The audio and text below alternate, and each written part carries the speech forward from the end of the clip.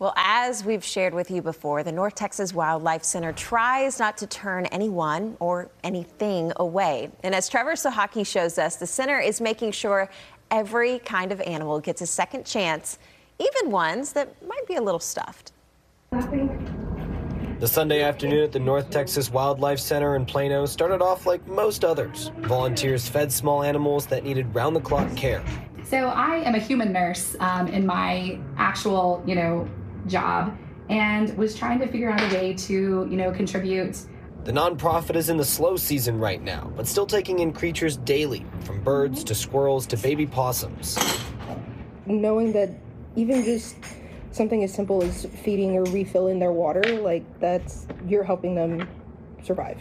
But this day's patients were a little different and a lot more lovable. When the center received a donation of stuffing, President Rebecca Hamlin decided to put it to good use and help restore stuffed animals. And so this time of year, we mostly get a lot of trauma cases, and we're getting in about four or five animals a day. Um, and it's really hard emotionally for us. And so this is a way for us to do something fun, engage with the community, build that rapport with the community, educate the public. Sure enough, a trauma case came calling. Okay, no loud noises, no big movements, guys. This one was what they called a glue trap rabbit. Hey, Lindsay. Yeah. Can you get the coconut oil out and put a little bit in a bowl for me? Yes. That meant a sticky trap that was set out for rats and mice accidentally caught a rabbit. The center acted quickly once they got the call, setting up an incubator for the animal and preparing tools. Oh, sorry, go for it. Oh.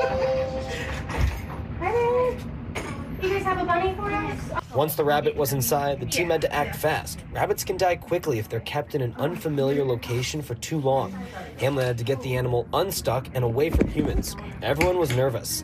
But soon enough, she freed its legs by cutting off some fur. Luckily, there weren't more injuries. Into the incubator he goes. He's off the trap. He's already off? Yeah, both of his back feet were stuck.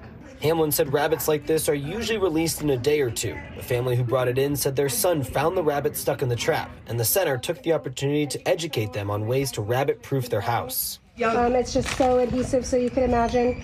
And I see, see on Facebook um, there is this North Texas Wildlife Rescue thing. So I check my Facebook and then call the number, and then that's how I got the case.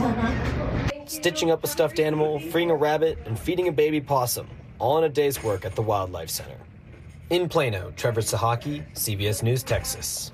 I, I really do love, I mean, I love the work that they do. It really does provide an option for folks that do come across injured, Right. hurt animals. Uh, but the stuffed animal portion was just adorable. Yeah. It was I mean, sweet. bring your little stuffed animal and Yeah. we'll, we'll give it some TLC. Thank goodness for organizations like this too, just because seeing that rat or that um, rabbit that is stuck into that trap and seeing the work that they put in Yeah. just to get it out, yikes! Eh, yeah, and sometimes the stuffed animals do need that TLC because they get run over, they get thrown thrown in the washer or whatever. Yeah. You know, They have a couple of those at home. Missing an arm or a leg. Yeah.